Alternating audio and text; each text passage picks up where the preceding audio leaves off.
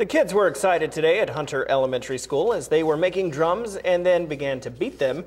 The process was part of a month-long celebration of Native awareness at the school. The kids took circular frames and then after punching holes in wet elk skin, proceeded to weave string made of elk intestines through the holes to make a strong cover. Now after tightening the strings and then tying them off, the drum is considered complete. With the assistance of local Native instructors, the kids learned a valuable lesson and on Native culture and how they subsist by using nature and wildlife. So they are each working with volunteers from UAF and from Farewell Avenue Christian Church. They've come to help these kids put together their own drum. And then the kids, it's like a rite of passage.